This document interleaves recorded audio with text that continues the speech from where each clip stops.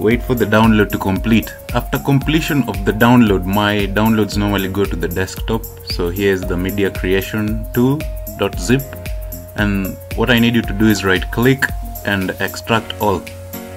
Then extract. Then uh, once the extraction is complete it will open this folder with only one item over here called media creation tool. So double click on it to run the application. It should bring you to such a page where it is getting a few things ready.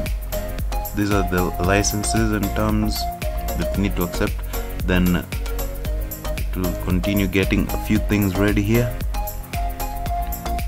A little patience is required here. Then we don't want to upgrade this PC want to create an installation media then click next then leave everything here as default. Then the USB flash drive is the one. It needs to be at least 8 GB by the way. Then click next. This is the name of my flash disk. Then click on next and then the download should begin. I personally don't want to download these files because I have them locally. I store them in my disk D here they are there are about 13 13 items in total.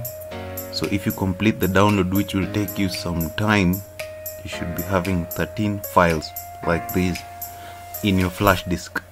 Now that is now called the boot media that you have created and that was the essence of part 3 of this video series. Stay tuned because on part 4 we shall be moving on to the Asus computer that was hit by this Aptio setup utility thanks for watching. Don't forget to subscribe and like. Goodbye